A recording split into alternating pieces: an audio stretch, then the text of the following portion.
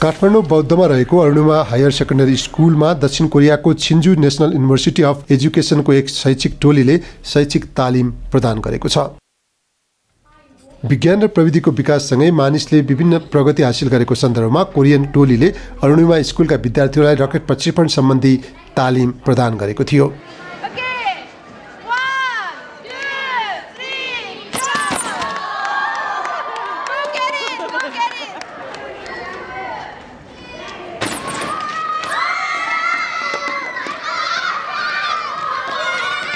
त्यस अवसरमा Korean professor हानले विद्यार्थीहरूलाई विज्ञानका नयाँ नयाँ आविष्कार सम्बन्धी जानकारी पनि दिनुभएको थियो। कोरियाली टोलीले अरुणिमा स्कुलका विद्यार्थीहरूलाई विभिन्न तालिमहरू पनि उपलब्ध गराएको थियो। कोरियाली टोली स्कुलमा आएर विज्ञान प्रविधि र शैक्षिक प्रणालीका बारेमा जानकारी लिनु पाएको अरुणिमा स्कुलका विद्यार्थीहरूले बताएका छन्।